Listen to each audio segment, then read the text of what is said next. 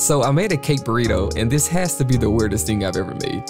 So I filled it with vanilla buttercream, vanilla cake, and these fancy sprinkles for color and texture. And then I also added white chocolate ganache. And then it was time to roll into a burrito.